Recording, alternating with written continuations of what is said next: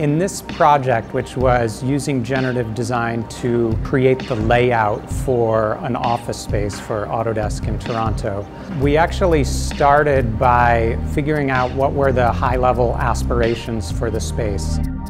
We honed in on six separate goals for a good office layout. And these goals included things like trying to factor in all of the adjacency preferences of all 200 or 300 people in the space, trying to factor in the work style preferences of those same people, but then also trying to calculate some overall factors of the space, like the amount of daylight um, that came into the space, the views to the outside that were available.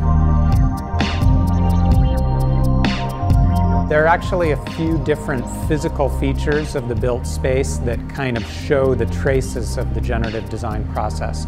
One of them is that the grid of lighting fixtures for the space is oriented to show the areas of high activity. So if you look up at the ceiling, you can see that the lights are pointing in different directions and that has been tuned so that those lights are all pointing to the spaces of high activity for this selected design. And that's one of the design goals for the space, to create a space with good activity and interconnectivity.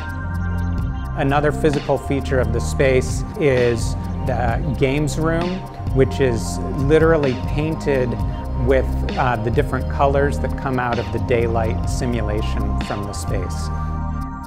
When generative design can navigate a really large design space and create many, many design options, many more than a human could manually create. That gives us the possibility as humans with judgment and values and creativity to explore possibilities that wouldn't be possible otherwise.